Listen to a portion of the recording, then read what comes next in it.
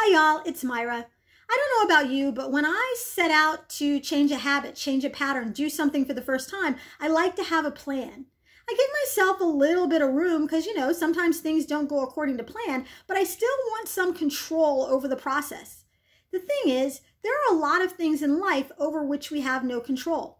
For instance, I had a friend who changed jobs. The new job involved a longer commute.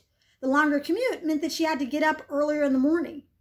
Totally changed her digestive process, changed the way she started her morning, and not in a good way.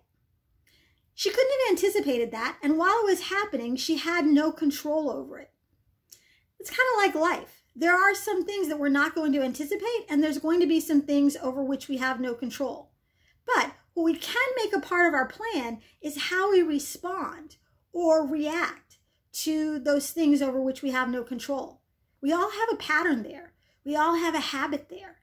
For the next nine days, take a moment to just sit with how you respond, how you react to things that are out of your control. And I'll see you in nine days.